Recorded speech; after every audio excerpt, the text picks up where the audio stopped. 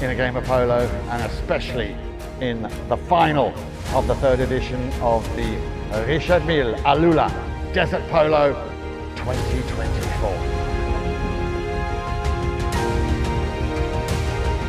Well, ladies and gentlemen, put your hands together.